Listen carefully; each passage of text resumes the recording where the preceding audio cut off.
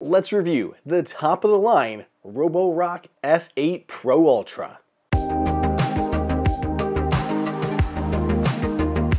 Welcome everybody. Welcome to Apple Insider. It is Andrew here. I am excited because I love testing smart home vacuum cleaners, and for 2023, the flagship lineup for Roborock will be the S8 line. So in the S8 line, it's divided into three different models. On the low end is the S8, just the standard S8, and it comes with a standard charging docking station. Moving up the list is the S8 Plus. So the S8 will run you 750 for MSRP, and the S8 Plus is going to run you a cool grand. And for that grand, it's upgrading from a standard docking station to an emptying docking station. So it'll charge your robot as well as empty out the dustbin. So you don't have to do it uh, really so frequently. Then finally, on the top of everything is the S8 Pro Ultra. This will set you back $1,600 if you pay full price for it. And its big thing is it has the Rock Dock which is basically the empty wash fill station. Your robot will go to your home, it'll clean everything, it'll come back, it'll empty out the dustbin, it'll empty out the dirty water, it'll put in new clean water, and then it'll clean the mop on the bottom, just doing everything really for you. Uh, and the S8 Pro Ultra, what I'm looking at here, is the successor to the S7 Max V Ultra, which was the highest end version they offered in 2022. So let's go ahead and we're gonna first start with just the upgrades on the robot itself, as well as upgrades on the docking station, and then I'll tell you how it actually cleans my house, which is a mixture of carpets, hardwood floors, and a whole lot of pets. Let's start by taking a look at the robot itself. So it now comes with a white version as well as a dark version. I have the lighter version, which does look good, though it can trap some hair on if you have dark haired animals around your house. There are a few buttons on the top, such as starting and stopping and then returning to the dock, as well as enabling child lock. When you open the back, just like the prior generation, you have access to the dustbin on the inside.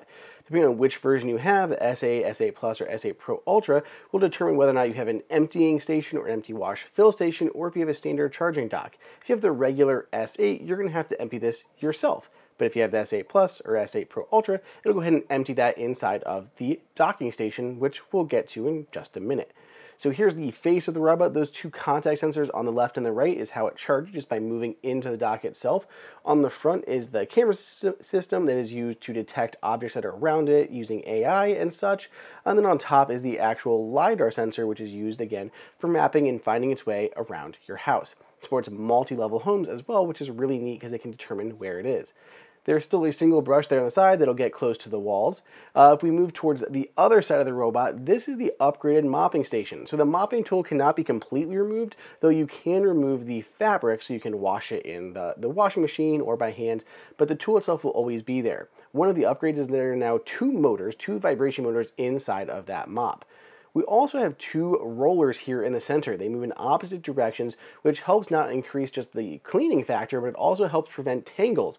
Uh, in my testing, it does absolutely resist tangles more easily. We have a long-haired dog as well as a long-haired wife around these parts, and there would definitely be times where the, the hair would get trapped in my S7 Max V Ultra as well as a few of the other vacuums that I had tested, and I think this does improve the suction power uh, or the, the non-ability to get tangled compared to the other ones.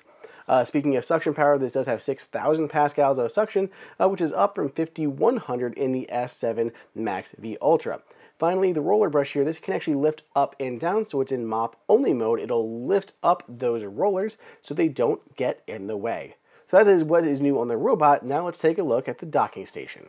Roborock has an all-new redesigned docking station that it calls the Rock Dock. It's a little bit larger overall, and that is partially because they have a new, larger, uh, dirty and clean water tank. It's now 3.5 liters and 2.9 liters, which is up from 3 liters and 2.5 for the empty and dirty, wash, dirty waters compared to the last generation.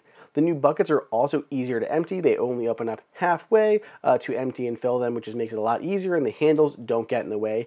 And the thing has a much sleeker appearance with that piece going all around the front, covering the front of the bins.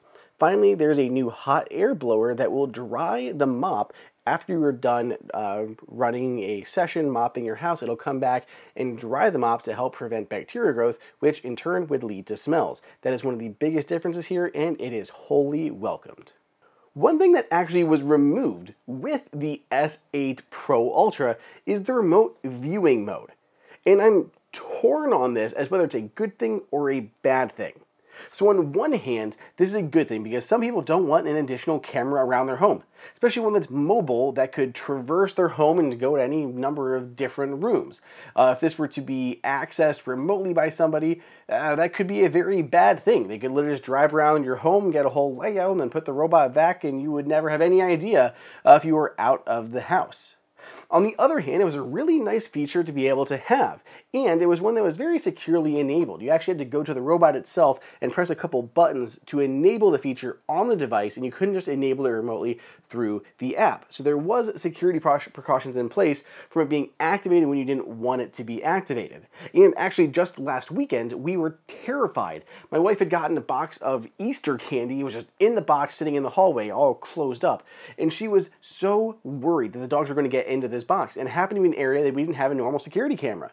Uh, and normally, what I would have done is just drive out the S7 Max V Ultra to check and just see, like, yep, the box is good, the dogs are safe, uh, and it'll be like that until we come home. But unfortunately, I had swapped out the vacuum cleaners for the S8 Pro Ultra during the review, and I realized that it doesn't have this feature. There is no remote viewing capability. You can still drive it around within the app, but you can't view that camera uh, on or through the application, which, again, for some people, it's going to be a, a bad thing, and for others, it may be a good thing. I guess Roborock, you know, figured the odds and figured people would rather not have that feature than have the feature. But I'll leave that kind of up to you. So, how did the S8 Pro Ultra clean our home? Honestly, it did a fantastic job, as did the S7 Max V Ultra. The increase in suction power was probably not a big deal. I didn't notice that much additional cleaning from the suction power as much as probably just from the improved rollers on the bottom. When there was little bits of dust like flour or anything, it picked those up much better than it did before. And as I had mentioned, it resisted tangling a lot more than it had in the past. Our one dog has very long hairs and they would typically really get trapped up in there, but it did a great job. It also seemed to do a good job on the dust bunnies that would roam the hallways that are generated from our actual bunnies that really shed quite a bit. All this got sucked up and easily transported into the empty wash fill station. I love the look of the new empty wash fill station. I think it looks a lot better in the home, much more sleek and modern, and I'm kind of a fan of this new white colorway. Other things to note, while it can lift the mop while it does go over carpets, if you have a very high pile or very plush carpet, it's still probably going to be rubbing that uh, mop over top of the carpets. It's just something that's going to happen, so either avoid those carpets or make sure the mop is clean first before you go ahead and mop those areas or vacuum those areas. It doesn't really get the area wet at all, but if you're worrying about germs and things kind of spreading around, it's something to take note of. I am always impressed how good of a job this thing does while mopping, and the two additional scrub brushes does even better. Uh, we have a lot of salt that gets tracked in through the winter here in Ohio, and it does a much better job you know, shimmying along that ground to clear up those surfaces. And when you go and empty out the dirty water tank on your base station, boy, it is really dirty. And like I never feel like our, our floors are that dirty in our home. We genuinely take our shoes off and yet somehow this thing always manages to pull a lot of dirt off of our floors. So I feel like it's actually doing something while it is mopping. I am such a fan of this, and for Apple users, an added benefit is that it has Siri shortcuts control. So you can activate this just by using your voice. If you use Google Home or Amazon's Assistant, those will also work for you here. But for Apple users, you can program Siri shortcuts to any number of commands to send it out on its way. The Roborock app is incredibly well designed, one of my favorite for smart home vacuum cleaners. It's really easy to see your home. You can break it down into rooms and you can send the robot out to do different rooms, whether you choose the cleaning mode, such as mopping only, vacuuming only, and you can change the intensity of each of those. If you want to do a really big deep clean, you can even do additional cleaning on the carpets after it cleans the rest. It'll go back and do the carpets a second time, so you do a deep clean on those. There's just so many options here that you can program for this. I find it very, very nice. The obstacle avoidance is also top notch. I can identify and identify things like uh, surge protectors or a shoe or even some dog piles that may be left behind. Uh, I tried with just kind of like some silly putty just to see what it would do and it gave it a wide berth. It's not even getting close to that because you don't want to fling that around your house. And at least in all of my tests, it always avoided those dog piles. So I definitely would give it my pet stamp of approval. And you even have to say you have pets when you're going through the onboarding process so it knows to look out for things like that. So this is a lot to take in. Let me know what you guys think. I think this is a good upgrade over the S7 Max V Ultra. Overall, one of my favorite smart home vacuum cleaners out there. You can usually find these things on sale. So if you want to try to grab one for yourself, there are links down below in the description. And I want to know your thoughts in the comments and on Twitter at Andrew underscore OSU. Otherwise, stay tuned because I have a lot more videos coming your way.